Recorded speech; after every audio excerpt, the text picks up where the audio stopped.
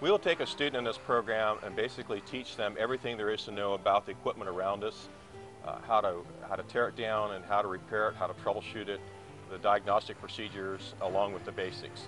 At the end of two and a half years, they basically will come out of here with approximately about eight years of regular experience. I am the diesel instructor for the diesel equipment technology program and also for part of the Caterpillar Think Big program.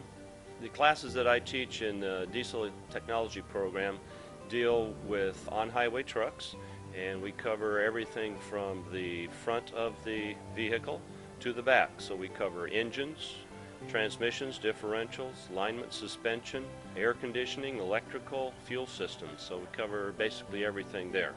I've been in the Think Big program for just over a year. We're going on our third semester now. We've done engines, hydraulics, electronics. We're doing air conditioning and transmissions right now. This program is put together for anybody that would like to get into the diesel truck area or heavy equipment area and we give them basic instruction. We are here to train the individual to go out and find a job. In this program, we learn how to take the equipment apart properly, diagnose it, evaluate what went wrong, and be able to repair what broke and what caused the failure to begin with. One of the programs we have is called the Caterpillar Dealer Service Technician Program, where we train students to work specifically for Caterpillar dealers in the state of California.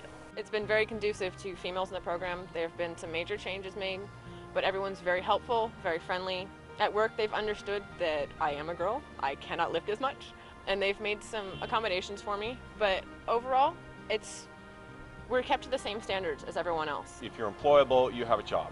There is a drastic shortage of these service technicians in the state of California and actually nationwide. Caterpillar gives us three brand new machines every six months. They rotate in and out, so we're always working on the latest equipment here. So they get trained on what the current technology is. So if they walk out to a machine, they have a full knowledge and understanding of what's going on with it and where to step in and begin doing the repairs. Safety is always important. We want to make sure that each component is covered with safety so the student or anybody else working around the uh, student area or employee area is uh, going to be safe.